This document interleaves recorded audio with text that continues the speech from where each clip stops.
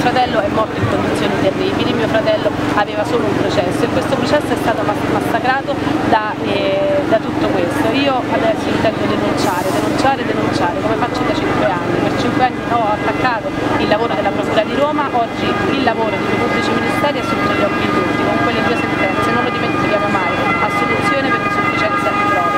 Non è il mio fallimento, non è il fallimento del mio avvocato, è il fallimento della Procura di Roma. E comunque le persone, le persone comuni hanno capito.